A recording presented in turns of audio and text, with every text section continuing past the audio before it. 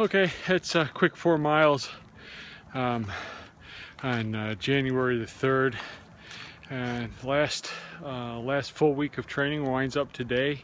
Next week starts the uh, taper week for the uh, Winter Warrior. So uh, today's training actually was scheduled to be a, a, five miler, but I had to cut it short due to uh, uh conditions on the roads and sidewalks. We got some slush and freezing rain. It's just a, a gnarly, uh, uneven mess.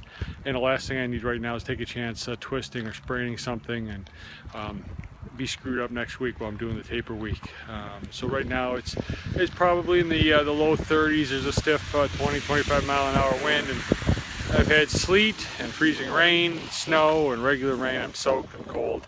Uh, but uh, ready for uh, Winter Warrior, my first half marathon in the first in the uh, first part of the Four Seasons Challenge here in uh, Rochester. So uh, thanks again for joining.